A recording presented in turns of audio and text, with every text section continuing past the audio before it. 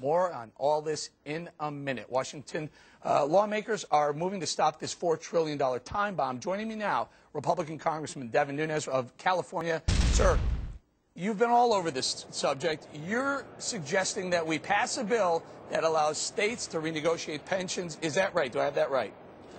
Yeah, Eric, what, what really has to happen is what we're asking for is just clear transparency. There's roughly about 2,500 public pensions throughout the country, state and local level. What's been happening is, is that slowly they've been coming to the federal government asking for money. You saw that last year in the stimulus package. And so they're going to continue to come out and be and ask to be bailed out.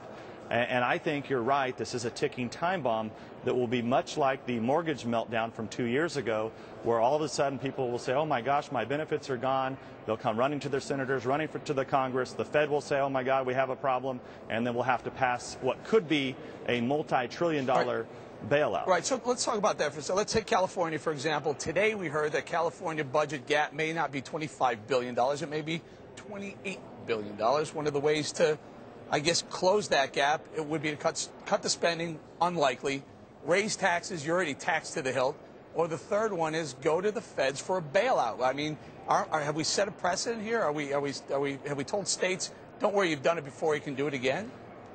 Well, we already have set a precedent uh, last year with the stimulus bill, the year before that with the Wall Street bailout bill, and they're going to be coming back for more. Now, remember, when you talk about that 25 to 30 billion dollar budget deficit, that has nothing to do with the state and local public employee pensions, which are really right. unfunded liabilities, right. much like we have in Medicare, Medicaid, and Social Security federally today. All right, hang in there. I'm sorry, Congressman, I guess we have to let you go. I'm going to bring this out to the panel. Appreciate your time, Congressman Devin Nunes from California. Thank All right, guys.